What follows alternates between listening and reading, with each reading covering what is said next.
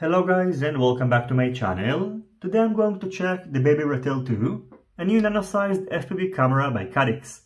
In this video I'm going to quickly go over its features and specs, measure its latency, point out the differences between the new camera and the older one, and finally head outdoors and compare them side by side.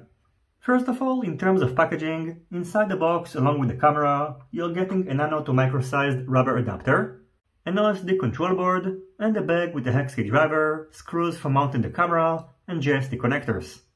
As for its specs, the Caddx Baby Ratel 2 features a 1200 TV line CMOS sensor. You can set the picture system to PAL or NTSC and the image aspect ratio to 4x3 or 16x9 using the OSD control board, and its supported DC input voltage is between 5 to 40 volts, as opposed to the Caddx Baby Ratel 1, which its supported DC input voltage is between 3.3 to 5.5 volts.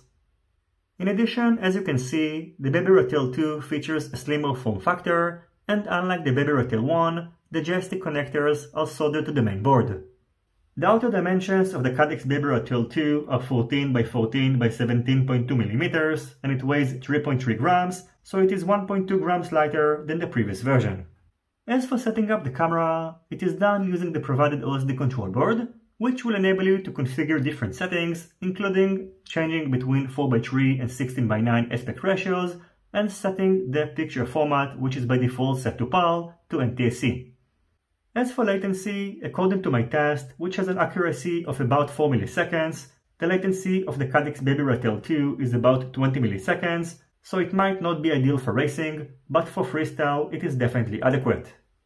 I'm going to wrap up this video with a side-by-side -side comparison of the Baby Ratel 2 with the previous version, and in my opinion, the Baby Ratel 2 is better, first of all in terms of form factor, and in terms of picture quality, it is better, especially under a low light environment.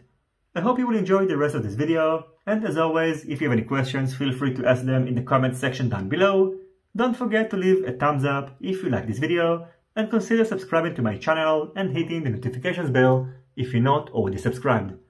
See you on my next videos and goodbye.